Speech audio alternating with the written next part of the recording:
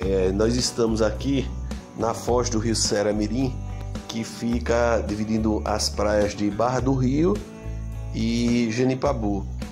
É, Para quem gosta de pescar, é um ótimo local de pesca, pois quando a maré está seca, ela divide é, as águas da, da foz do rio e da maré, onde fica uma grande variedade de peixes, como robalos, tainhas, entre, entre outros.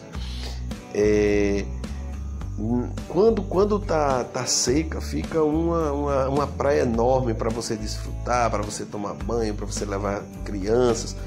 É maravilhoso, é uma praia, fica uma praia imensa. Agora, é, para você pescar, é bom você sempre é, pedir alguém é, que lhe encaminhe, algum guia, porque para não ser surpreendido pela maré. Esse morro que a gente está vendo ao fundo é a praia de Nipabu. É uma praia famosa onde tem passeios dromedários, passeios de bugre. Aqui ao lado, para a gente estar tá mostrando, tem a passagem da balsa, que é onde você passa de Nipabu para a Barra do Rio. E a, a, a balsa ela funciona geralmente até de 6 da manhã até 6 da noite.